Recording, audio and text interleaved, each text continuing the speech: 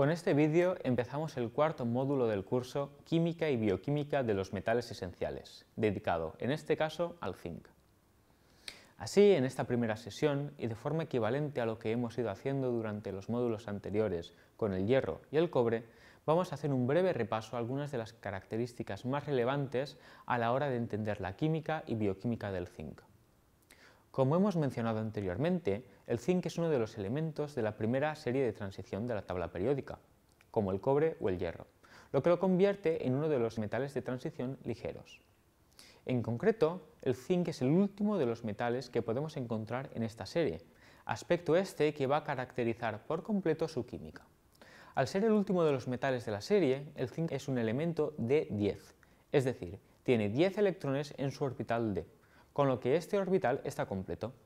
Este hecho le confiere una enorme estabilidad, de forma análoga y salvando las distancias a lo que sucede con los gases nobles.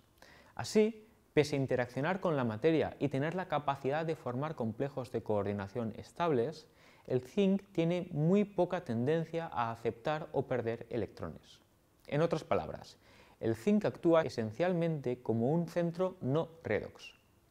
Pero esto, lejos de ser una desventaja, puede ser incluso beneficioso. De hecho, el zinc puede llegar a ser más adecuado que otros iones metálicos de transición para ciertas actividades debido a que, aparte de ser un buen ácido de Lewis, es inactivo frente a procesos redox. Así pues, es muy extraño que este elemento participe en procesos de catálisis en los cuales es el propio metal el que es oxidado o reducido, tal y como sucedía con el hierro en la catalasa o con el cobre en la superóxido dismutasa, por ejemplo. Este metal, en cambio, suele funcionar como un punto de anclaje o de interacción de los sustratos con el enzima, requiriéndose de cofactores adicionales que lleven a cabo la química redox. Desde el punto de vista de la composición elemental de un ser humano, y como no podía ser de otra forma, el zinc se encuentra a una concentración prácticamente residual en nuestro organismo. Es, eso sí, el segundo metal de transición más abundante en nuestro cuerpo, solo por detrás del hierro.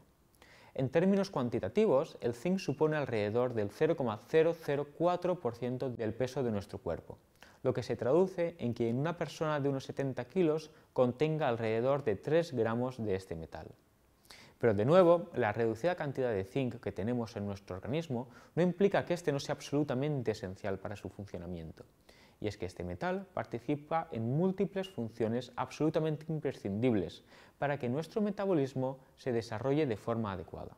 Por ejemplo, el zinc está implicado en el metabolismo de proteínas y ácidos nucleicos, estimula la actividad de aproximadamente 100 enzimas, colabora en el buen funcionamiento del sistema inmunológico y de la próstata, es necesario para la cicatrización de las heridas, interviene en las percepciones del gusto y el olfato y es una pieza fundamental en el proceso de síntesis del ADN.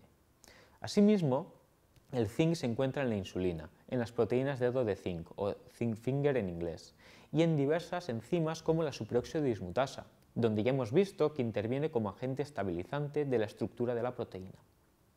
Por su parte, una deficiencia de zinc puede conducir a un retardo en el crecimiento, pérdida del cabello, lesiones oculares y de piel, tardanza en la cicatrización de las heridas, anomalías en el sentido del olfato, etc. Una deficiencia de zinc puede venir dada por una ingesta deficiente o una mala absorción del metal durante la misma. Por ejemplo, trastornos como el alcoholismo favorecen su eliminación en la orina. Finalmente, un exceso de zinc se ha asociado con bajos niveles de cobre, alteraciones en la función del hierro, disminución de la función inmunológica y de los niveles de colesterol. De esta forma llegamos al final de este vídeo introductorio al módulo del zinc. En las siguientes sesiones analizaremos el papel de diferentes proteínas de zinc como son la anidrasa carbónica, la fosfatasa alcalina y la alcohol deshidrogenasa.